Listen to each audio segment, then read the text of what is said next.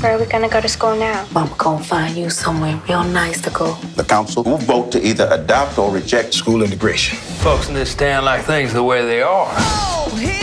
I play Ann Atwater, and Ann was a very outspoken civil rights activist during the 70s for the Durham community. We gonna beat school segregation once and for all. Ann was an icon in the black community. She dedicated her life to the people who didn't have a voice, and boy, did she have a big voice. My job was to get problems solved. The city council people didn't want to look at us because we were black. They would turn their chairs around and I would walk up and knock them back around. Now, what we talking about is important.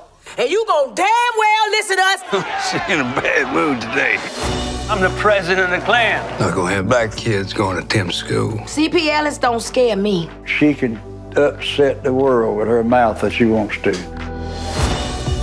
The story essentially is about two people who are really on opposite sides of the fence. I'm here to protect my family. So all the better is you don't get in my way.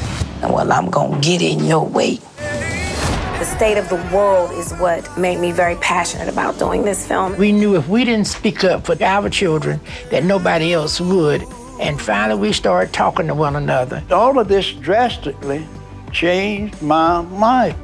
They forge a bond mainly because of their working class background. What you so afraid of, CP? You afraid you're gonna lose control.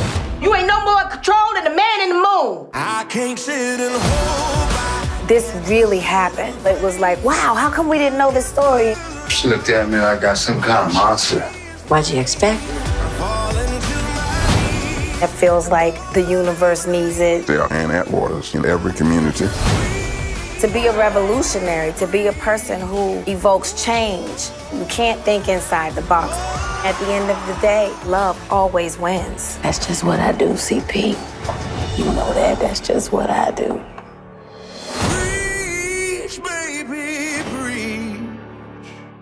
Hey guys, here's today's daily fact. The bridge explosion in The Good, The Bad and the Ugly had to be shot twice. Now remember the scene when Blondie and Tuco blow up the bridge leading to the cemetery where the gold is believed to be buried? Well, a misunderstanding led to the dynamite around the bridge being detonated before cameras were ready to catch it, requiring the bridge to be rebuilt and the whole thing to be shot again. Hmm.